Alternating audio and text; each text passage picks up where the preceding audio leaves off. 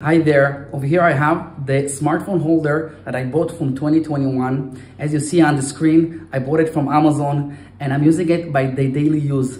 I also gave it to my mom for a while and my grandma, they all used it and I'm telling you, first, it's long lasting because you see, I'm still using it. But I know a lot of you probably asking, could it hold a heavy phone or a tablet? Yes, it's very hard to move it and change the position with one finger.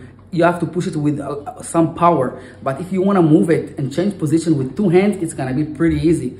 All what I'm saying is to hold something a little bit heavy as a phone or tablet, it's the best choose for you. Please check the reviews on Amazon and choose the best for you. I really recommend it. Bye.